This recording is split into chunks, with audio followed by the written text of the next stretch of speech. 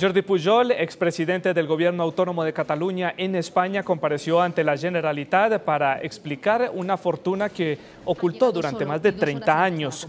Pujol acudió a esta cita de manera voluntaria después de que en julio reconoció la existencia de ese dinero, cuyo monto exacto no se conoce al público.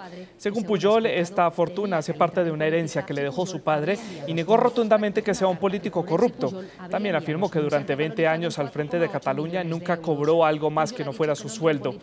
Pujol aseguró que no se dedicó a la política para ganar dinero porque ya lo tenía. Sin embargo, las dudas entre los catalanes prevalecen.